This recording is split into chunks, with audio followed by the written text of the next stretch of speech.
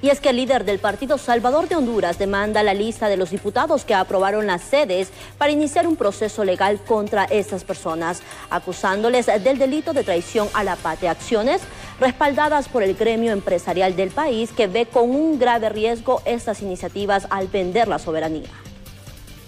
Dirigentes del Partido Salvador de Honduras esperan revertir las acciones emprendidas durante este gobierno en la aprobación de las sedes, al considerar que se está vendiendo la soberanía del país.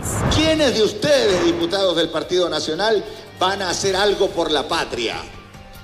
Los nombres de los 25, ¿quiénes se apuntan para sumarse a los liberales, a los de Libre, a los del Pino, para sacar los 86 votos necesarios para derogar las sedes. No esperen a que llegue Salvador Narrala, porque Salvador Narrala, si llega Salvador Narrala y ustedes no actuaron a tiempo, Ustedes cometieron el crimen de traición a la patria. El sector empresarial, representado en este partido, espera lograr un cambio en la economía mediante la alianza que se ha entablado entre los diversos actores políticos, económicos y sociales que buscan un cambio para Honduras.